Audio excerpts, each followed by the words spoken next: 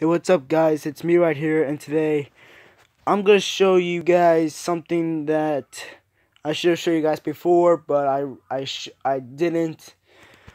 But I want you guys to subscribe to my second channel, Deniz Bozkurt Tube Two.